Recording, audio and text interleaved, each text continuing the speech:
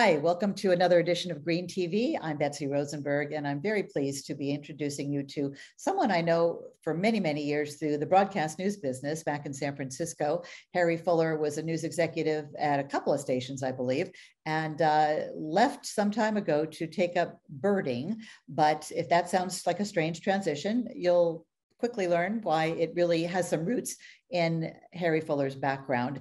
Um, so very pleased to welcome you, Harry Fuller, to Green TV. Thank you. Great to be here. Let's start with the news since we are both uh, recovering sure. news, news, people. and that is the very disturbing, devastating, eerie uh, incidents of birds dropping out of the sky or bird die offs, as they're calling them. Of course, you think of Rachel Carson, Silent Spring, the birds, uh, nothing, nothing good.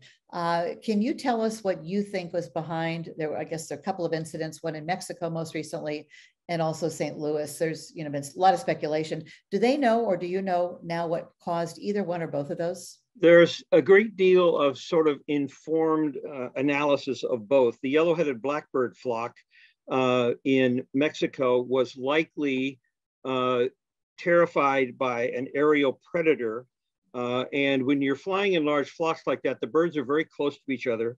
Uh, it's not unlike a lot of eighth graders running down the stairwell at a school uh, during a fire alarm. And if somebody falls, they all, a lot of them will fall. And I, we think mm-hmm. that's what happened with those birds. They ran into each other. Uh, mm-hmm. they're, they're not very strong, so they're fragile. So if you break a wing or even bend it the wrong direction in flight, you can crash into the earth. So they think that's what happened there. So that was probably a natural occurrence that would have that could have occurred at any time in history.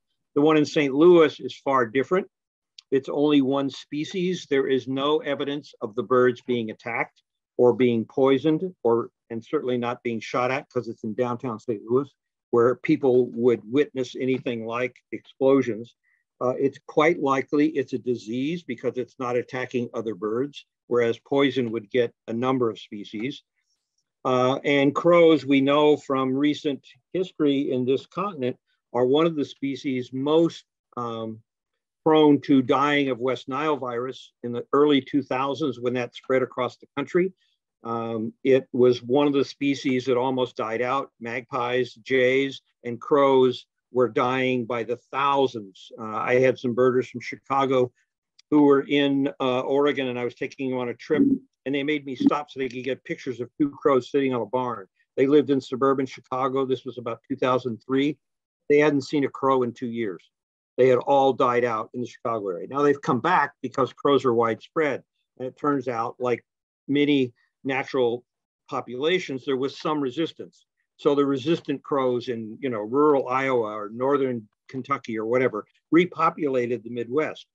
But for a long time, all most of the crows were susceptible, died of West Nile, and they had to slowly be replaced by the ones who could resist the disease. And West Nile, let us not forget, is probably one of the first diseases that has spread because of global warming. It used to be a tropical disease. Now it's all across North America. I believe I just saw, keeping it very current here and with the news background again, uh, that they discovered some birds on Long Island, I believe, with the bird is that avian? Yes avian flu. Yeah, yeah what, yeah. what is that what does that portend dare i ask? Well it's you know it's the same what's happening to the birds is what's going to happen to us and it is in a sense happening to us. Diseases that used to be limited to certain areas because of climate uh, or habitat or insects are now spreading. I mean, it is a mosquito that spreads West Nile virus, and it's a mosquito that's not native to the Western Hemisphere but now we've got it. And it's not just climate change, it's ships, it's planes, it's international trade and transportation. I mean, anybody who's into native plants can give you a long list of plants that have come here in the bilges of ships from all around the world and now infest American waters and vice versa. You know, we send our unwanted plants and animals and insects to the rest of the world uh, and they have to cope with it too. So our international trade and travel uh, is costing the native environments across the planet a lot. And then when you magnify that by the stress and the change from the climate, uh, we're looking at a lot of serious uh, consequences across the globe. And I know bats are mammals, right? Not birds, but of Yes. course they were at the center and continue to be of the investigation of, you know, where we got started with COVID. And again, that's connected to humans' encroachment into wildlife habitat and pushing, you know, the different species closer together and then humans getting involved. It really seems like nature is trying to tell us something that this really is literally the canary in the coal mine. Yes, I think nature is saying, uh, and a very important biologist who died not too long ago, E.O. Wilson, wrote a book about it called Half Earth. Basically, nature's saying, get back in your box, leave me alone. This is my planet. It's not your planet. In spite of what some of your religions and certainly your economic values tell you, this is not a human planet. This is a natural planet. And if you mess it up, you're going to pay the price. I would suspect that we probably have a 50% chance of our species not surviving. Uh, what time frame? Uh, well, who knows? I mean, I, I think the unpredictability of climate change is astronomical. Uh, you know, we have trouble predicting weather 72 days out, and we can measure almost everything. There's stuff that's going to happen and already is happening with climate change that wasn't predicted 10 years ago, that couldn't have possibly been foreseen. There's probably things that are going to happen that we haven't even imagined, much less predicted and weighed and evaluated. We've been talking about some of the more dramatic recent examples of birds falling out of the sky. Uh, but there's also been studies that show the number of birds, I guess it's worldwide, is steadily going down or maybe rapidly going down. I would, Yes. would know about that and what's causing it. Yes, there's a number of things that are going on. I would say there's two major directions in which change is happening. One is in the man-made world and the things that we control either deliberately or unconsciously, uh, which is the most dangerous thing. We make decisions all the time and don't think about the consequences. I would say that's probably the most fatal flaw in our species is it's really hard to get humans to think about consequences beyond next week. I mean, I used to work for corporations and all they cared about was the next quarterly earnings. And that's why corporations are so destructive long term. They really don't give a damn about what's going to happen in five years. They just aren't paid for that. That's not what their bonus is based on, and they really don't care. And then the other thread is nature. Nature is extremely complicated. We pretend we know a lot, and we know a lot more than our ancestors, but there is so much we don't know, so much we can't measure. There are still species out there that we've never even named. Uh, and, and some of them are probably extremely important. So as climate change happens, there's going to be two or three cause or uh, results of climate change that are going to have enormous effects both on the human controlled world and the world that is beyond our control now. And one of them is stress. There's going to be stress on natural systems and there's going to be stress on individuals within each species. And then there's going to be changes that will either happen quickly or slowly. And whether a species or an individual can adjust to that is there's no way to predict. There are some species that we can look at now and say, this one's doomed. Uh, I mean, I think one of the species in North America that's either going to get pushed way up to the Arctic or disappear entirely is a bird called the ptarmigan, which is related to quail uh, and, and other sort of wild chicken birds. It lives at high altitude. It has no it has no built-in temperature control. It hmm. needs snow. If the sun is shining and a ptarmigan can't curl up on an ice floe, it overheats and dies at 75 degrees. Now, there's nothing we can do to fix that unless we're going to start making man-made glaciers like they did for the Olympics. But I can't imagine Exxon or Chevron paying for glaciers in the in the mountains of Colorado. So that ptarmigan, at least in this part of its of its range, is doomed. And that's just a tiny example of the stuff that we face across the globe. Wow. And there was um, a couple of years ago, maybe each of the last few years, there were a lot of birds dying in the Southwest, and they Yes. might have to do with all the wildfire smoke. Have they determined that? No, they haven't. And partly it's the, the, the complication, particularly when it, this stuff happens in migration. Uh, you know, let's say birds are flying at, you know, 600 feet over Reno and they uh, inhale a lot of deadly smoke for some reason. And then by the time they get to Las Vegas, they're flying out of the sky. They're dropping out of the sky because it's taken that long to damage. Nobody's measuring all that stuff. I mean, we just now have a tiny technology that I'm helping to promote here in Oregon, and scientists are pushing it all over the world. Tiny, tiny, tiny little transmitters you can attach to migrant birds and then follow them 24 7. We've never been mm-hmm. able to do that until recent technology. Now we can suddenly say, okay, these birds slowed mm-hmm. down when they hit Reno. They dropped out of the sky in Las Vegas. We found them dead over the Grand Canyon. We can at least track where they were and go back and look at weather records or whatever. But until recently, we haven't been able to do that. So a lot of these things, at best, it's an educated guess what really happened to these birds. Uh, in many cases, it's environmental. Uh, and because birds move so fast, particularly when they're on migration, they can go two or 300 miles in a night. So something had happened at point A, and they don't even feel the effects to point B, and we may not notice it until two days later when they're three states away. So this is really complicated stuff. And until recently, our technology wasn't even close to being able to keep up with. So, is there alarm in the birding world? And we're going to talk about that in a minute. Just what is the birding world um, sure. comprised of? Uh, because, uh, you know, as an environmentalist, as someone who watches these signs, I find it very frightening. Yes, it is. And there are certain categories of birds that are probably paying the heaviest price right now. And I don't know that that's going to continue. In, in this continent, the birds that are in most danger are ones that tend to be native grasslands uh, that live in the open area. And there's several reasons for that. One, grassland, if you want to pave something, it's a lot cheaper to pave a meadow than it is to cut down a forest on the hillside. So we tend to build our shopping centers and put our refineries and our gas pipelines and our wheat fields in flatter, more open areas because it's just cheaper. Uh, and secondly, uh, many of those areas, because they're open, are used for agriculture. So the use of chemicals is enormous.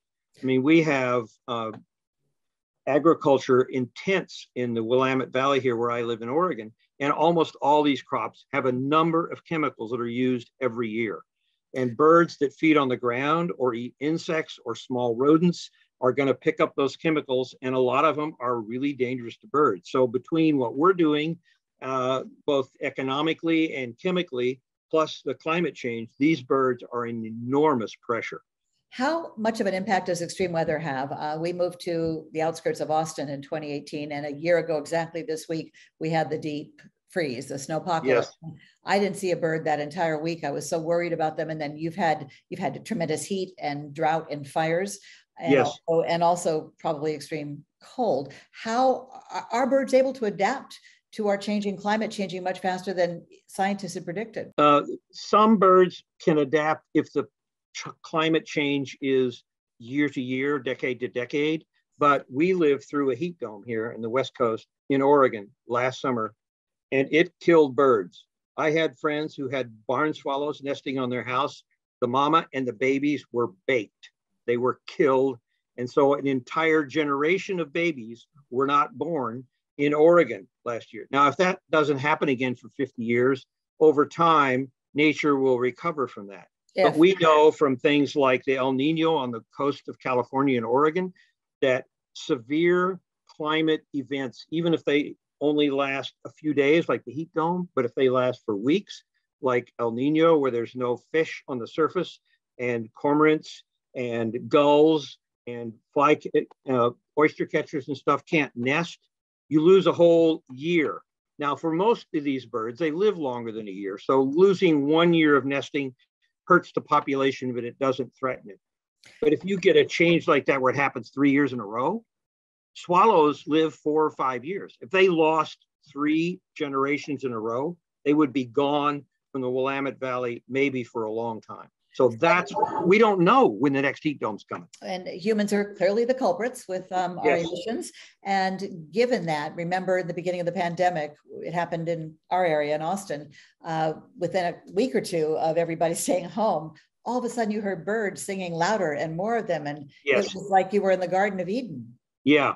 Yes. Yeah. Our human uh, activity, our daily activity, which isn't directly uh, intended to affect the rest of the world, you know, driving our cars, uh, using our leaf blowers, Air conditioners uh, as it gets going. hotter, AC as it gets hotter. Yeah, AC, any, anything that we do that makes noise tends to force the birds and frogs and other animals that communicate outside to adjust to that. I mean, they have found time and time again that most birds won't nest near a freeway. There's too much noise. They just don't want to have to deal with that. They need to be able to communicate to their babies and to their mates, so they move away. So the more noise we make, uh, the harder it is for urban birds. Night light is a huge danger for migrants. Mm. Migrants are, are notoriously wiped out when they fly into a well lit high rise at night. Uh, guy wires, towers, uh, even sadly, uh, some kinds of um, windmills are dangerous for migrating birds. And we need to be, we need to look at the consequences of what we do. And if we're not, if we don't get much, much better at it, we're just going to end up destroying huge numbers of species and not just birds. Um, another something else I noticed, and and where we live in hill country, uh, there sure. is a dark skies movement. There's no lights, you know, in our development at all. Um, no street lights. Is that right. is that movement growing? Yes, yeah. There are even some cities now that that have mandated lights out at night, um, and you know that's just one of the many things we can do to make life better for for uh, birds and other animals. You know, bats or or whatever, uh, even migratory insects. I think in general, we, and it needs to happen globally. If it happens in Philadelphia or Southern Italy, that, that's not going to be enough. We need to do this in some sort of cooperative, rational way globally. And I, I hope the next generation can do it because our generation sure hasn't. We need to think about the effects we have on the rest of the world when we do stuff. You know, it's fine if company A makes a 10% profit, but what is that doing to the planet? Is it worth it? I couldn't agree more. And uh, so, so pleased to be able to, even though these are difficult issues, you know, I feel like this is this is news, right? This yeah. is most important news, right, Harry? Yes, that's not absolutely. Covered, that's not getting properly covered in mainstream media, but that's another story. It is getting better, but nothing compared to what it should be. Uh, one more bird question that I've had sure. personally. So, in our home, we have a lot of um, glass doors and big windows. Uh, yes. We have birds that fly into the windows, right? Crash, and some, you know, die sadly, and but some look like they're dead, but then a few hours later they kind of walk right. and, and walk yeah they knock themselves they knock themselves what, out. What, first of all what's going on with that? It, and secondly is there anything one can do besides putting a bunch of bright decals all over your sliding glass doors? There's there there are better ways to deal with it i think that the decals. We've tried the decals and they're sort of mediocre. What's mm-hmm. happening is the birds are seeing the reflection uh, in the daytime. It doesn't happen much at night, but in the daytime, there's a reflection, and the reflection is the bush or the tree or the lawn or whatever mm-hmm. is 50 feet away uh, straight out the window. And that's what they're seeing. So they think they're flying into a bush or out to the lawn. Uh, and I have found the best thing to use, and it's probably available even in places as urban as New York City. There are strips of sort of plastic tape that vineyards and orchards use and they put on their trees to keep the jays and stuff from eating the fruit. And you hang mm-hmm. those in front of your window and they dangle in the wind and they reflect and they clearly say, this is a surface. And the birds notice that and they want to stay away because it's shiny and reflective anyway, but it's moving and it's there. Uh, and you can stick it up with push pins. You don't, you know, it doesn't destroy the paint, or you can, I put it up with blue painter's tape. Uh, so you, it's easy to put up. It weighs almost nothing. It doesn't require any structural work on your house. And I find it's about five times as effective as those decals. Glad to hear that. With the what can we do about it? And, and this is a tough one because it's both the long-term effects, climate change, yeah. Uh, but also, and how much of a role do pesticides and chemicals play? Because they certainly do in the bee disappearing bees yes. disappearing crisis. And you know, Huge. just thinking, we when we were when we were young, our parents would have the discussion about the birds and the bees, and that was, yes. that was something else. Um, this is a lot more dire. The discussion. Yes, uh, pesticides, chemicals of all kinds uh, are extremely important, uh, and it's not just things that come out of bottles and sprays. I mean, the fact that we don't have biodegradable tires on the millions and millions of vehicles is a huge environmental crime. Uh, that stuff that comes out of there is killing fish.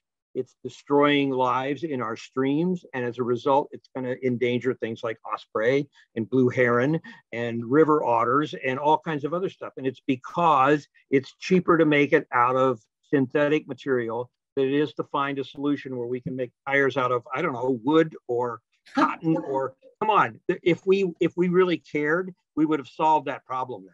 But because nobody's forced to care, is nobody's going to care. Is anyone working on that? Is anyone working on that? You know, I don't even know. You know, you try researching biodegradable tires and people look at you like you're crazy.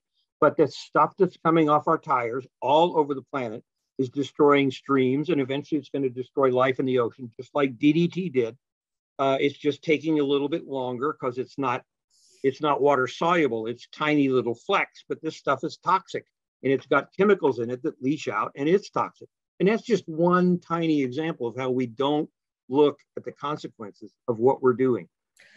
I would guess that when you transition from broadcasting to bird watching, you probably were thinking that would be a nice, calm, pleasant um, hobby. It became a profession. you mentioned you've written three books and you have a, a tour company, Towhee, Towhee Tours, uh, to take people out on birdwatch expeditions. Yes. But uh, what has happened to what should have been a pretty nice, fun, happy thing to do um, over the years, uh, leading to what we're talking about right now? Take us back to um, like what what made you make that unusual turn? Well, uh, it was I, I, was actually still working full time, and my uh, escape from from meetings and pressure and deadlines had always been baseball and statistics. And then the players in the major leagues went on strike one summer and ruined my life. I mean, I was the point where I'd say, if this was drugs, you'd be in rehab. Find something else that is important. And I remembered I'd been gone through a divorce years before and didn't have any money and, and took a birding class on the weekend and went out and it was fun. It was outdoors. Uh, you know, after years in the broadcast business and the internet business, I was sick of meetings in rooms where you can't even open the window. So this was outdoors. So I started going on bird walks and I thought, wow, this is really cool. And the thing it was, it it fit my personality, which did well with deadlines and get it done now. And birds are that way. Birds are quick, they're fast. The amount of information available about birds is probably even greater than the amount of information available in the news world. So it's it's not like you're going to learn everything. It's not like you know playing checkers where there's 850,000 moves and once you've memorized them all, there's nothing to learn. There's never an end of learning about birds. They teach you stuff every day. I still see them do things and I went, wow, I didn't know they did that. and because of our science, we're now learning stuff about them. I mean, just birds migrate with a sense of the magnetic field of the world. They have a sense organ in their eyes that chemically reacts to magnetic lines, and they have a vision, a visual image of where the magnetic lines are on the earth. So if they're migrating at night, the wind is blowing, it's raining, they can't see the stars and the moon, they can't smell anything, they can't hear anything except the rain, they know where they are because they see the magnetic lines of force that aren't affected by all the things that would confuse us. They can still fly due south or due north. I mean, and, it's just the more I learn about birds, the more I go, wow. Well, the, the, the, flocks of birds you see when they're all together and then they do these amazing turns, I guess certain yeah. certain times of year, certain places, reminds me of, you know, School of Fish that, That's know, right. yeah. Oh, so yeah. what, what's up with that? Is that what you're talking about? That magnetic? Well, it's also just knowing the direction they're going. Uh, they know they don't get lost uh, in the kind of weather that would completely befuddle us. We'd have to sit under a tree and wait for the storm to pass. We would have no idea what's north, south, east, or west. But they know, no matter what the weather is, where they're going because of this magnetic sense that we don't have. We have no sense of that at all. Well, and the flocks that fly, like you're talking about, like starlings or yeah. like yeah. schools of fish, they uh, each bird in those flocks, they have done a calculation. They relate seven nearby birds. So it's it's it's a flow, it's a fluid, it's fluid mechanics. They are flowing like a liquid. Yeah. They are not trying to follow everybody. They're just following the ones near them. And so it it moves, you know, like melted butter or water in a stream. Uh, and it's completely beyond any capability we would have to even be able to try to maneuver that quickly. Uh, that's the other thing. Birds are so fast compared to us. Their eyes, their brain, their wings, their heartbeat, I mean, a hummingbird has over 100 heartbeats a hmm. minute, more than one and a half heartbeats per second for some of them when they're flying. I mean, it, that's just totally beyond our capability of even understanding. Okay, one last question about flocks sure. of birds before we uh, learn a little bit more about what you do with your tours. Sure. Uh, so when you see a flock of those birds, when I we lived in um, Marin County before we moved to uh, sure. Texas, uh, we lived at the end of the Tiburon Peninsula, and you know, like over the, you could look out and see Angel Island, and that body of water there, Raccoon Straits, what it was called. Yes. Uh, yeah. know, every morning it was like they were going to Starbucks, you know, every morning the same day, same time, and then they yeah. go back to the bar. I guess. Is yeah. There, is there a leader in those flocks? Uh, like, is that all random, or is there a method to that madness too? I always uh, the the method is much more social. It's not, uh, you know, one dictator and everybody follows. They tend to have shared values. Uh, birds that are are social and often in flocks, whether it's crows, gulls, ducks, um, shorebirds, sparrows, they tend to share uh, certain knowledge and values. Uh, in some cases, the really smart birds like parrots and the people in the crow and jay family, they communicate directly. They tell each other things. But, you know, if one solves a problem, how do you get that cheese block out of that puzzle? If he takes you in the yard and puts that cheese block in the puzzle, here's how you get it out. They will communicate direct information like that because those really smart social birds. But even the less smart ones, they share certain values, certain habits, uh, and it becomes dominant within the group. But if something happens, for example, recently there was a, well, a few years ago, there was a heronry that had been the same place on Bolinas Bay in Marin County for decades and had been protected. Eagles and raccoons started raiding the nest. They all left. They moved somewhere else. So that was a collective decision it wasn't some king heron st- sitting at the top of the tree saying, okay, now we're going to move a mile up the coast. They just not, a, not an edict, not an edict from on high. Okay, then yeah. one, one, last question about bird behavior. Sure. In particular, you hear them singing, and it's such a wonderful sound, especially yes. now that we appreciate them. Yes. More. Um, obviously, they are communicating. Um, are there? Yes. I'm sure there's different songs, whatever you call them, sounds coming from sure. species, but are they in general talking like one on one, or is it one and others? Like just what's going on behind that beautiful, beautiful it's noise? Actually, you, I think you should think of bird sound, including song and music, as you do human verbal communication. It really covers the spectrum. I think it goes everything from entertainment, uh, self entertainment, or entertainment of a small group, to warning screams. I mean, if you live in North America, you and you have a feeder, you know if there are jays in your neighborhood and they scream because there's a Cooper's hawk, every bird is gone. It takes a second and a half for every junco in my yard to leave. The minute the jays scream and say Cooper's hawk, the junco is gone. All of them, all 40 or 50 of them. They're just so they listen to each other. Uh, it, there's relationships of pairs. I was once sitting in Golden Gate Park waiting for a little bird to come out of the willows. And it never did. And I heard this tiny, beautiful little whisper, and I couldn't figure out it was coming from. And I watched, and down the path come two song sparrows talking to each other in this tiny little voice. If I had been more than four feet away, I never would have heard it. So they have all kinds of, they have the, the town crier screams that you hear from jays all the time.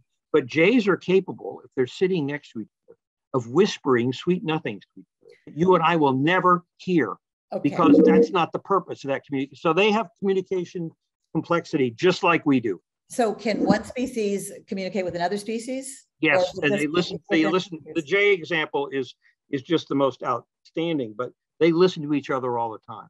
Mm-hmm. Uh, jays will do another thing. They certainly do on the West Coast. They will imitate a red-tailed hawk, do a perfect red-tailed hawk call, which scares all the other birds away, so they get to the food they do it on purpose. They know that all those birds know that a red-tailed hawk is a dangerous predator. And so if they make that scream, it'll scare the other birds long enough for them to get to the peanuts, whatever they're at. This is fascinating, and clearly you're passionate about it. And we are going to have you back on Green TV to talk about this. But I have to ask then, okay. what, about, what about these tours? Uh, you you lead them. Are they growing in popularity? And what can somebody expect? And how can they find out about yours if they happen to live in the Northwest? well, they can, they can, uh, probably the best tours I do now are at Malheur, the National Wildlife Refuge, where I work for the uh, field station out there. And we do two or three trips a year. Uh, COVID obviously interrupted all that.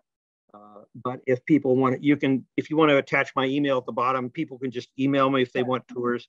I've got a whole network of people. If I can't do it, I've got friends uh, who can help.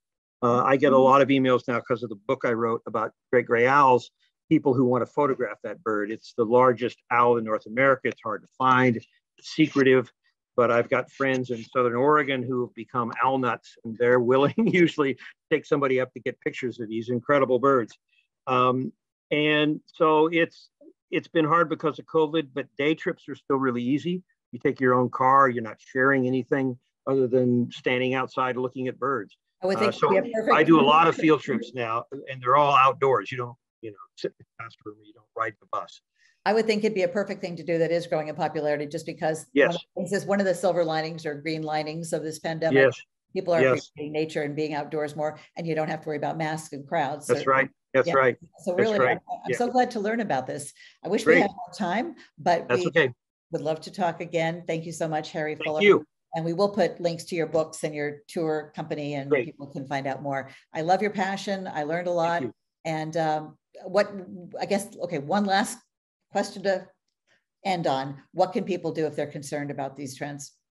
Uh, what they can do is do their best to help save trees, natural plants, open space, uh, get people to solarize the parking lots so we don't have to build 9 million more power plants uh, to, to run the planet. The fact that Walmart and Costco and all these big places have these huge parking lots that are just open to the sun that we waste, how stupid is that? The roofs should be filled with solar panels. A roof is a total right. waste. Right? Yes, yes. Yeah, all that. What about yep. chemicals and pesticides? Does it matter what I use in my backyard to the birds? Use as, use as little as you can get by with. Uh, the, the fact is that uh, we were getting ready. We were worried. We have rose bushes where we are. Climate here is fairly damp. Still hasn't changed much uh, yet. And we were worried because aphids came onto the roses last year. And we were getting ready to get ready to think, oh my God, we're going to have to do something to save the roses. And all of a sudden, there were ladybugs everywhere, and the aphids were gone within about two weeks. They ate them all. So I could ask you about ladybugs. So thank you, Harry. Yeah for your time. Thank you. And your passion you. and uh, your education. It's really enlightening. Really appreciate Great. it. Thank Okay.